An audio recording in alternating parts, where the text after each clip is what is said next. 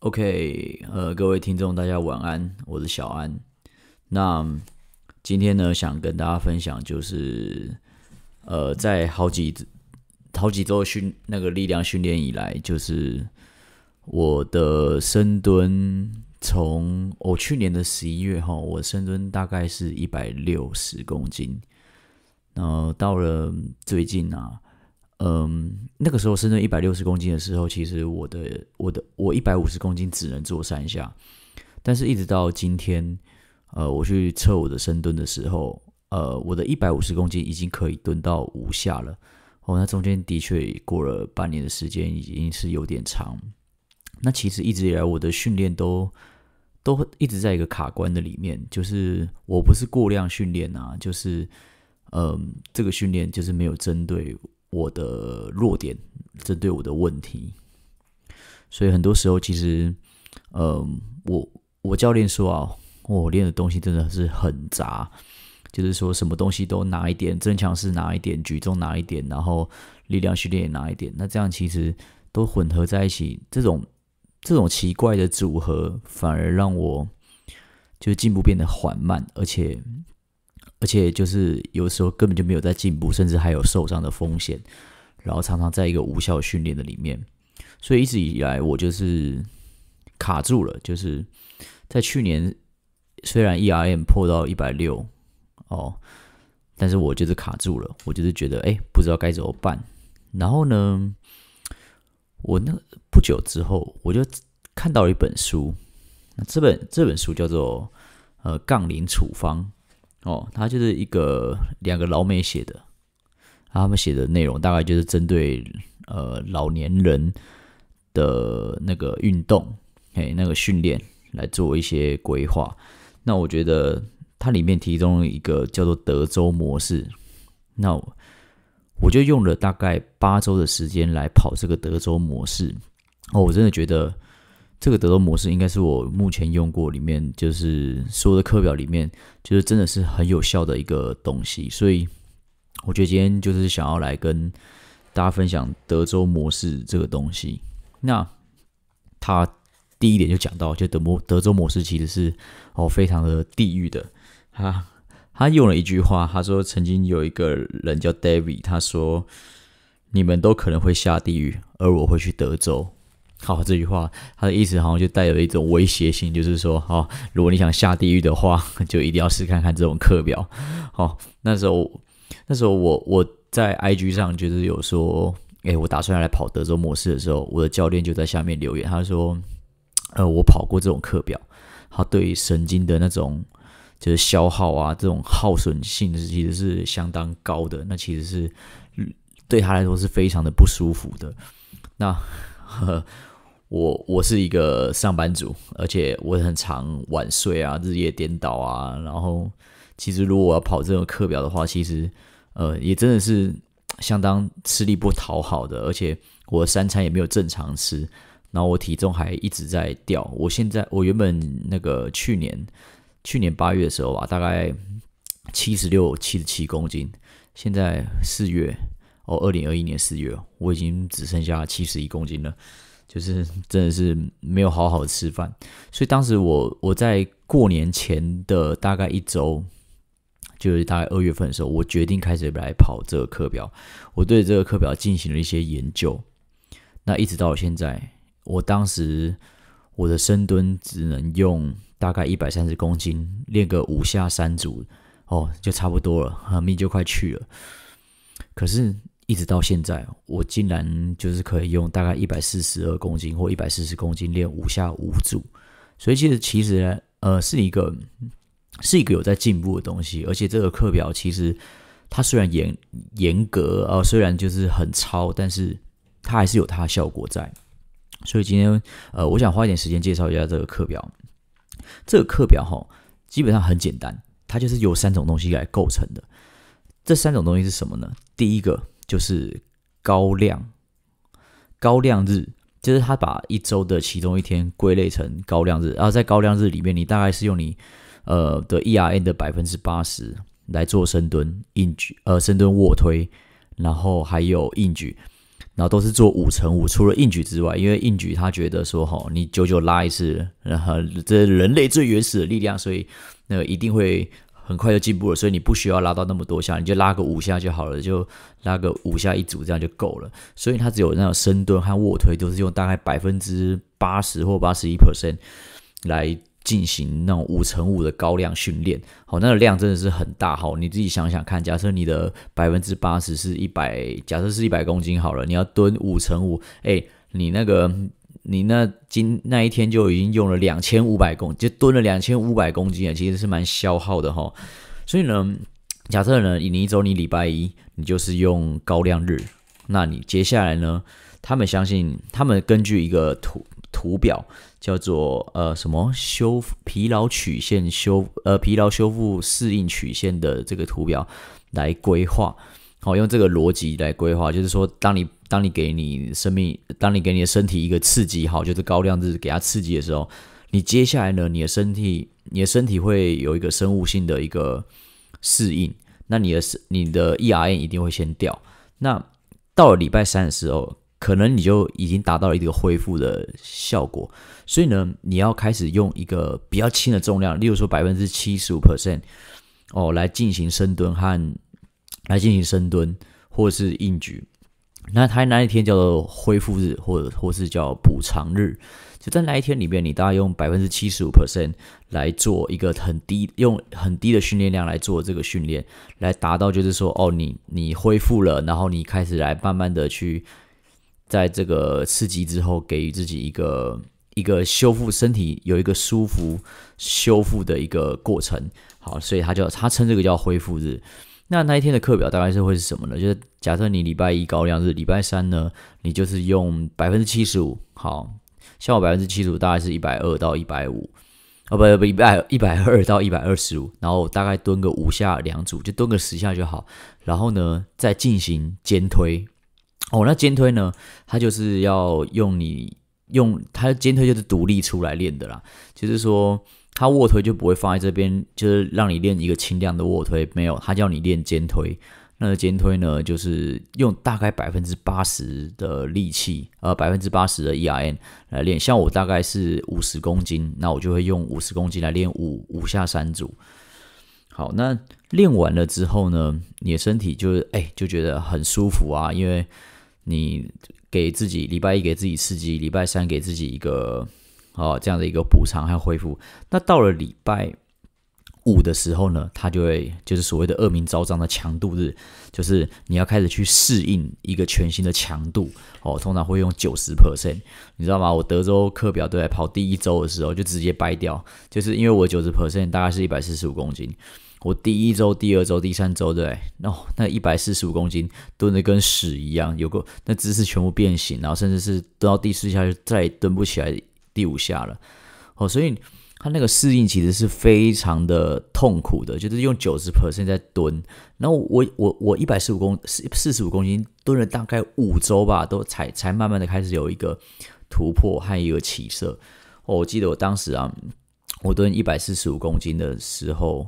那个整个膝盖内夹，然后呢，整个整个蹲完是很不舒服。然后卧推也是，我卧推也是，就是一公斤一公斤的在慢慢的去适应。好，但是在适应日的时候，其实就是要用百分之九十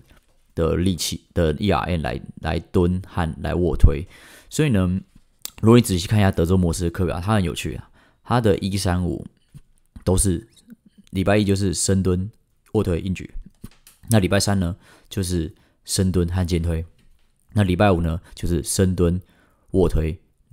然后就没了。你的硬举一周练一次就好。那他之所以会这样规划，我觉得是有他的一个逻辑在。那基本上哈，这就是一个德州模式、德州课表一个最基本的原型。那我就是按照这个原型下去进行训练的。那我就是分享一下，就是我的整个训练的过程。我第一周的时候，哦。真的是有够超的，真的很想死，然后练练得非常的痛苦。到第二周的时候，刚好是接过年，呃，就比较好了一点。但是因为有开始慢慢去适应，但是因为在过年的时候啊，就是你知道我在健身工厂嘛，他那我回鹿港，然后呢，我就是陪我弟啊，有去跑一些健身房，然后就是例如台中有健身房啊，就想说去玩啊，去弄看看，就不想玩一玩就玩过头了。我就你知道，你知道，你知道，我就是我我自己也很爱练一些举重的项目，像是抓举啊，或是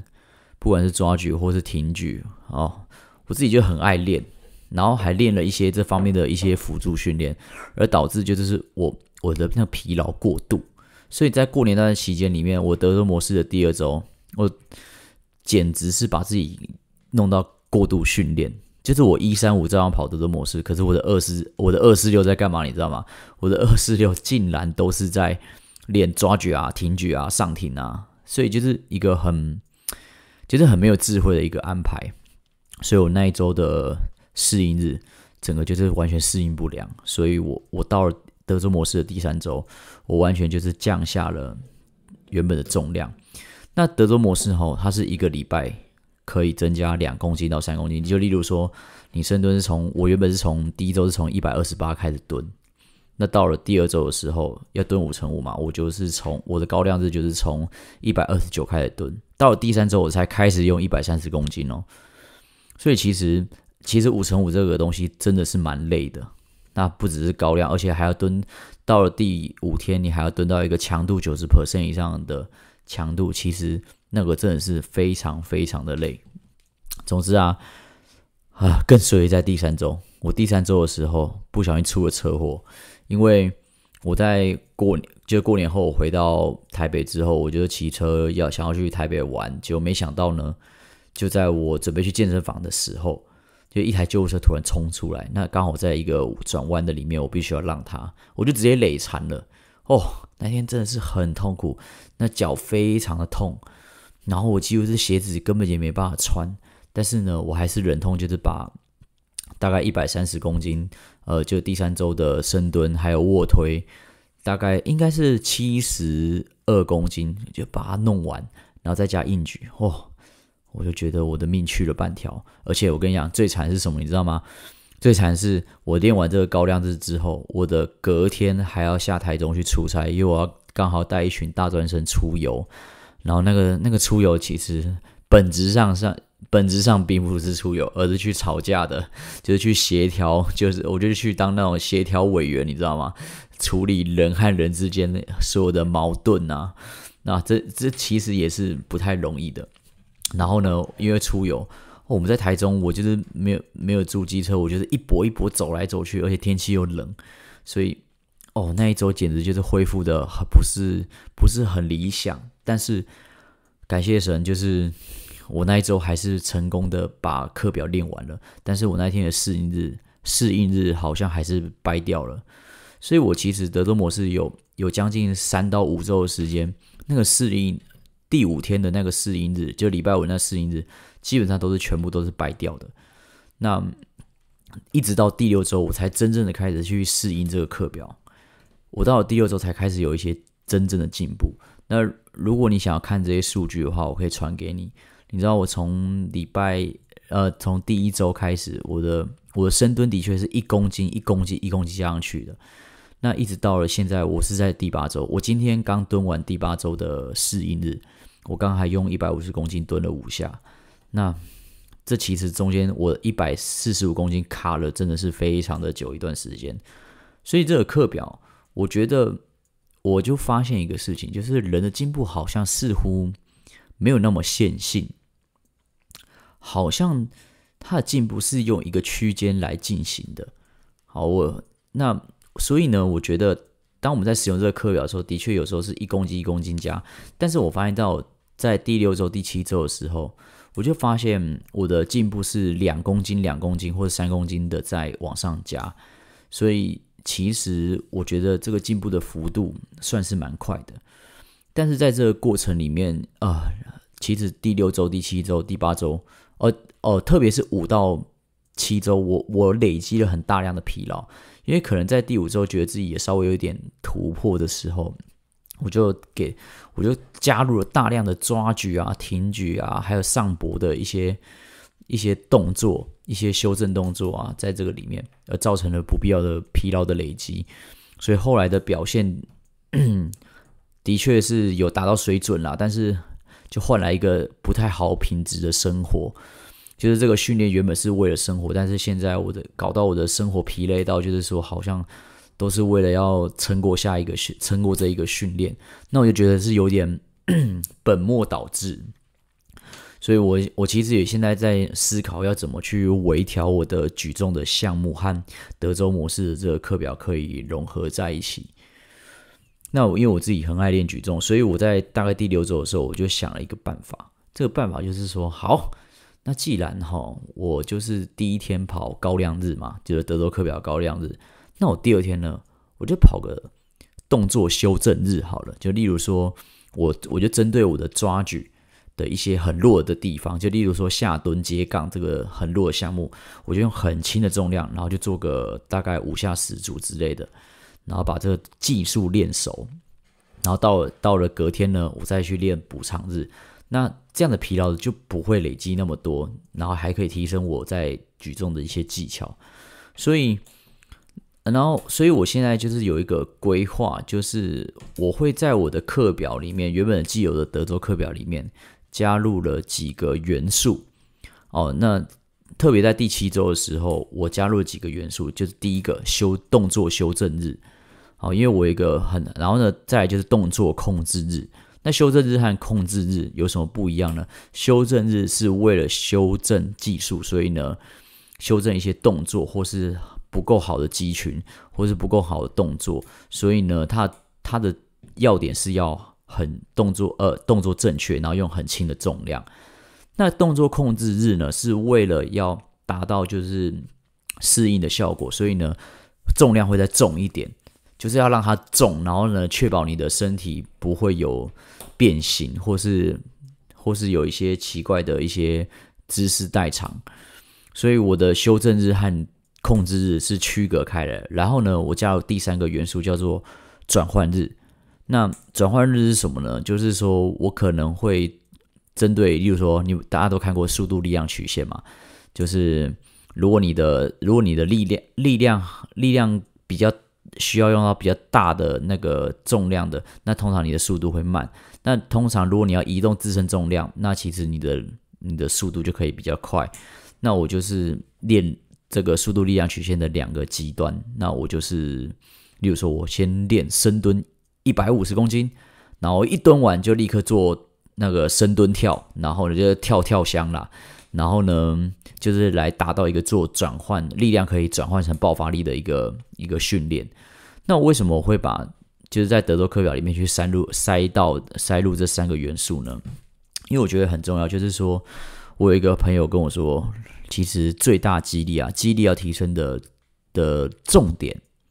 其实关键是在于